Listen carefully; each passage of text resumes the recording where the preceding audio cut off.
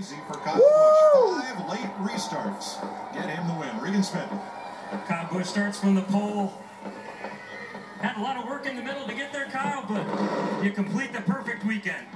Yeah, absolutely. That was uh, pretty awesome. Uh, man, to sit on the pole, lead a lot of laps, and uh, have my guys do such a great job today was uh, pretty phenomenal for us. Great for RCR. Just win, baby. So uh, thanks to Team Chevy. Appreciate 3Chi. Uh, don't forget, hey, guess what? The number eight special. Free chicken tenders at Cheddar's on Monday. Hey, so all the fans go out and celebrate with us. We're gonna have a great time with this one. This one's pretty cool. Kyle Busch, your winner at Gateway. Busch beats Denny Hamlin by half a second with Joey Logano.